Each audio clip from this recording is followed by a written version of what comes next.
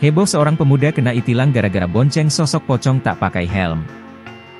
Heboh dan viral ada kisah seorang pengendara motor yang kena itilang, Selasa, 10 September 2024. Diketahui ada seorang pemuda di Pasuruan yang kena tilang elektronik gara-gara memboncengkan sosok diduga pocong tanpa mengenakan helm viral. Kisah ini dibagikan oleh akun X Idaman underscore Makmu pada 9 September 2024. Dalam unggahan itu, akun bernama Vicky itu menuliskan jika adik laki-lakinya sudah memakai helm dan surat-surat lengkap.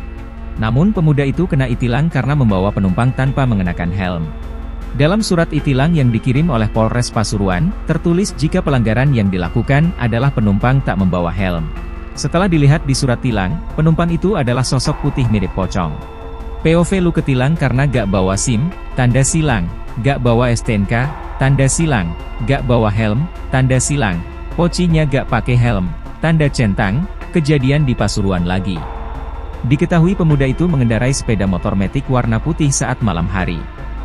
Kemudian di belakang duduk sosok putih tak mengenakan helm dan mirip pocong. Unggahan itu pun mendapat banyak komentar dari warganet. Sementara itu pengunggah masih bingung apakah harus membayar tilang tersebut atau tidak. Pasalnya sang adik mengenakan helm dan juga membawa surat-surat.